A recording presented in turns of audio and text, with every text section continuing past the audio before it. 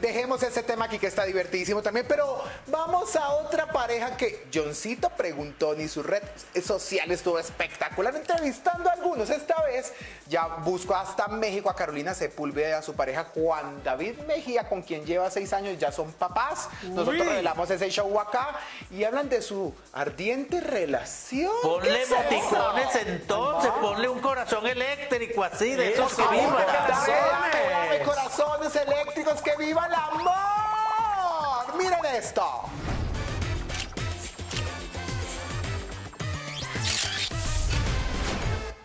Me extraña la pinta de hoy, se ven muy divinos. Esta pinta está muy regia. Quiero que por favor nos cuenten este look tan espectacular que hoy nos están brindando a todos. Es que así nos vestimos siempre, la verdad. Modestia aparte. Eh, Ave María. Ah, no, es que él es muy rockero. No, pues la verdad, estamos celebrando, aparte del amor y la amistad, eh, este mes es muy especial para nosotros, porque hace un año llegó el amor de nuestras vidas, nuestro hijo Lorenzo, así que eh, estamos celebrando. Carolina y Juan David, ¿ya cuánto llevan juntos? Ya llevamos más de seis años. Seis años. ¿Quién es el más mal geniado en la relación? Yo, yo definitivamente tengo un genio, bueno, soy cucuteña, aparte me rige un signo muy fuerte que es Leo, entonces... ¡Uy, no! Es, es, es fuerte. Pero bueno, tengo al lado este hombre que, que es un amor, la verdad que, que me aterriza. Juan David, ¿y cuál ha sido el regalo más especial que te ha dado Carolina a ti, aparte del de tu hijo? Eso, eso es un poco privado, pero eso va en las noches.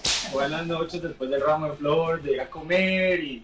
¡Bueno! Y, y, pues nada, se ponen unos conjuntillos muy, muy interesantes que. que Muy sexy, muy provocado. que, que, pues, que ese es yo creo que el mejor regalo para un hombre. Yo creo que La sí. seducción. Sí, sí, eso me encanta.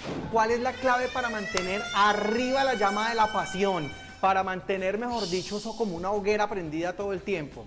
Yo creo que pues va a sonar cliché y todo, pero yo creo que es una excelente comunicación. O sea, no, guardarse nada, estar súper, súper conectados con tanto con lo que te gusta como lo que no te gusta y saber comunicar las cosas, ser impecable con las palabras. Eso es, yo creo que ese es el secreto de, de poder eh, mantener un amor vivo y pues cuando hay amor hay llama. Eso sí, créeme que eso siempre está. Y sentirse uno siempre eh, como si fuera la primera vez, ¿no? Yo siempre me he sentido con Juan David como la primera vez. Y que, que viva el amor siempre, y la amistad, obviamente.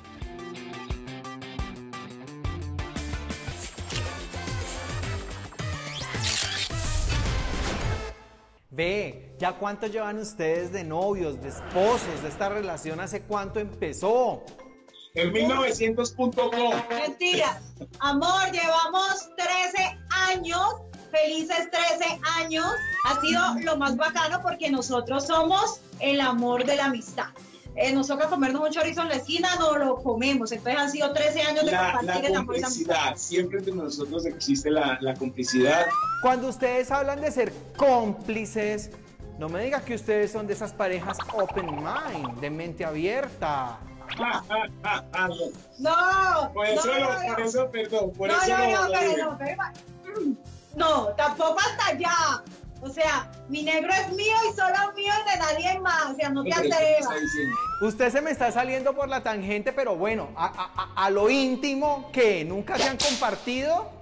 Jamás. No, jamás, no, nada. Empezando, empezando que yo tengo mis principios cristianos y todo eso, entonces jamás lo haría. Pero sí comparto de todo con él a solas.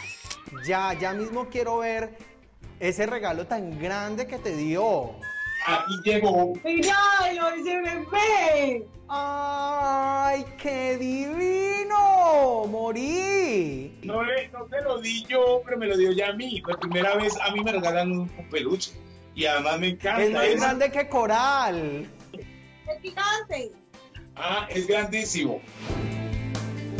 Pues, ¿qué le puedo decir, mujeres?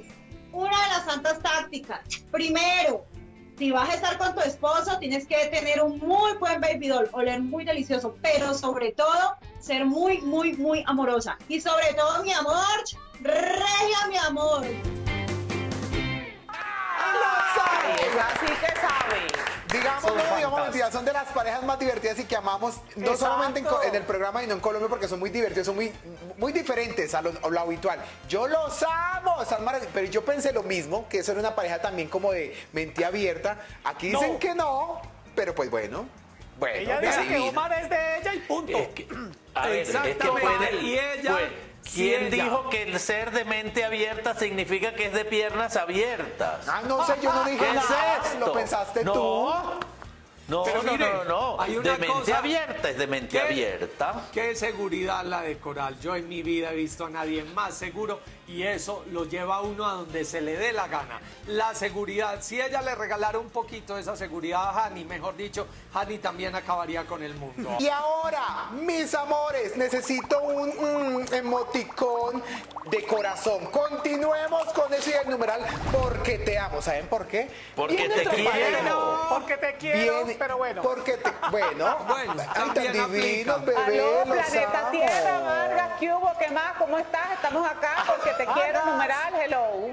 Por Hello. eso, bebé, numeral. Y ojo, Por lo porque que la pareja sea. que viene es una pareja de extranjeros, pero que llevan muchos años en Colombia. Vamos a ver cómo celebran ellos el Día del Amor y la Amistad. Ellos son Geraldine Civic y Gonzalo Vivanco.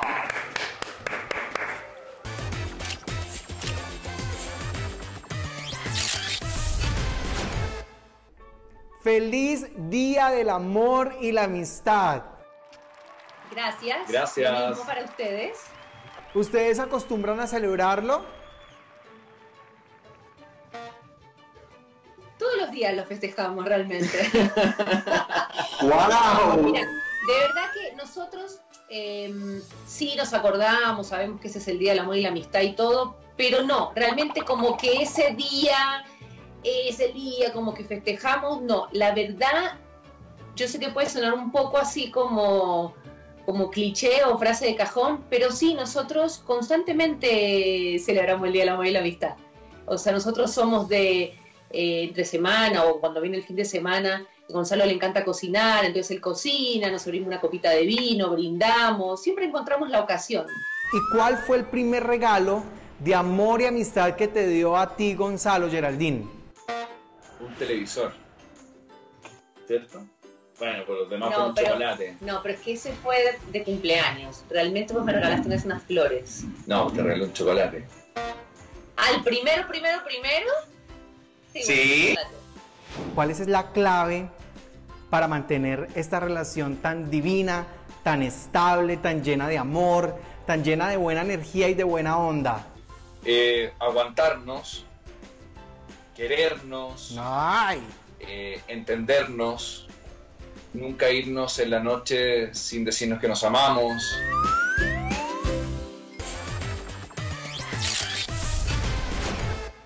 ¿Cuánto llevan ustedes juntos desde el momento en que se dieron por primera vez? Dale, mi amor, yo la tengo clara. Pero desde que nos vimos por primera vez, como 11 años y medio. Y desde que nos dimos el primer beso y empezó todo el romance, 11, 11 años. años y 50 y 5 meses y medio.